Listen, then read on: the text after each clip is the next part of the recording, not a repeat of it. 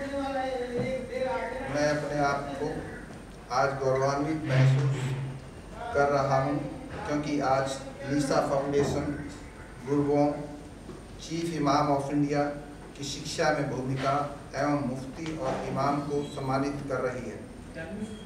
मंचासीन मुख्य अतिथि डॉक्टर इलियासी साहब और मेरे सामने माननीय अतिथिगण, मुफ्ती और मौलवी साहब, मैं आप सबका यहाँ पे स्वागत करता हूँ। तथा इस गैलरी में, जो कि न्यू फ्रेंड्स कॉलोनी में है, आपके यहाँ आने से, आज से देश के विकास में और चार चाँद लगेंगे हमारी इस शिक्षा के कारण, जो शिक्षा आप देते हैं और हमारे टीचर्स देते हैं इससे विकास होता है। भारतवर्ष के विद्यालय, कॉलेज, विश्वविद्यालय, आज दुनिया के विश्वविद्यालयों से स्पर्धा कर रहे हैं।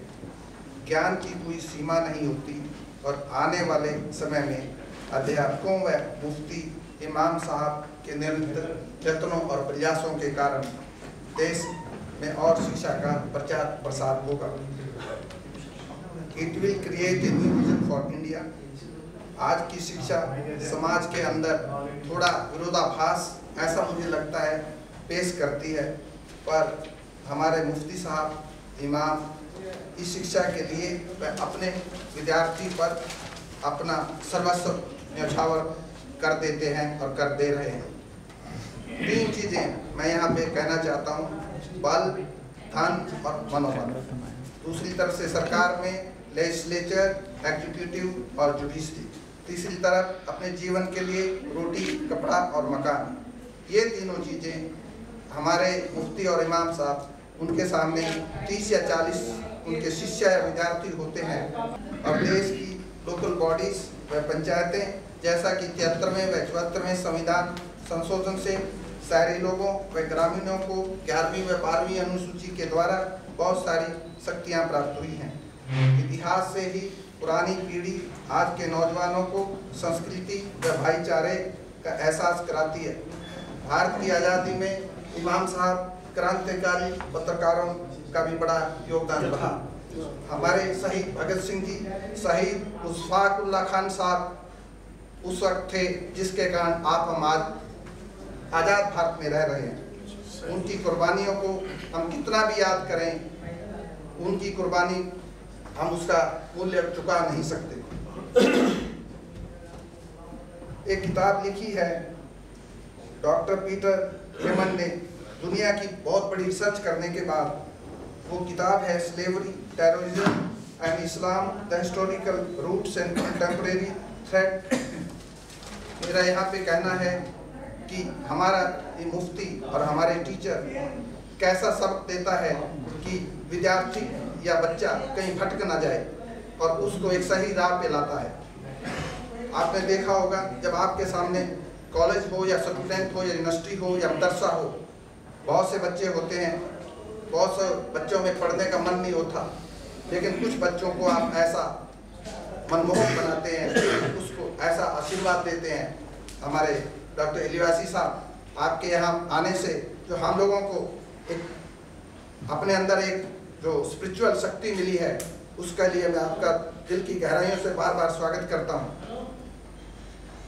मौलवी साहब, मुफ्ती साहब कुरान शरीफ का ज्ञान देते हैं और पढ़ने की वजह ये जुनून और एक लगन पैदा होती है।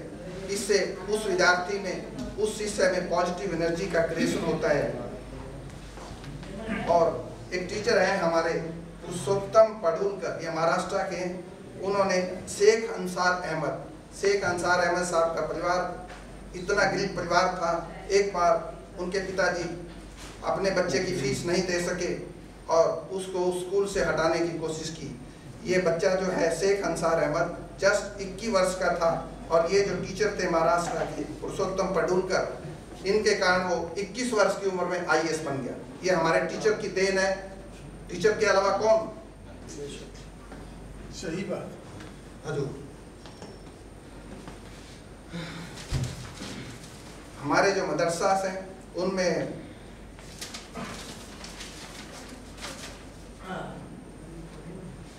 इस्लामिक शिक्षा दी जाती है। यहाँ पर तहरीर हदीस शरिया मनताक और कंप्यूटर से गणित और विज्ञान का पाठ पढ़ाया जाता है। इस तरफ़ सरकार की तरफ़ से और ध्यान देने की ज़रूरत है क्योंकि मदरसों से भी आईएएस और इंजीनियर बन सकते हैं। वैसे सुनने में आया 30 अक्टूबर को उत्तर प्रदेश सरकार ने इस दिशा में कदम बढ़ाए हैं। मैं आखिर में आप सबके यहाँ आने के लिए और उससे पहले कार्यक्रम के आयोजक, युवा पीढ़ी के होनहार, नेतृत्वकर्ता श्री भास्कर प्रकाश एवं फुटबॉल फॉर नेशन टू की चेयरपर्सन मिस प्रियंका कोठारी प्रकाश जी के काम को भी सलाम करता हूँ। जिन्होंने समाज को एक और नई दिशा देने का संकल्प लिया और इसे पूरा किया। आप सब यहाँ आए और आपके हम विचार सुनेंगे। आपका बहुत बहुत धन्यवाद। बहुत अच्छा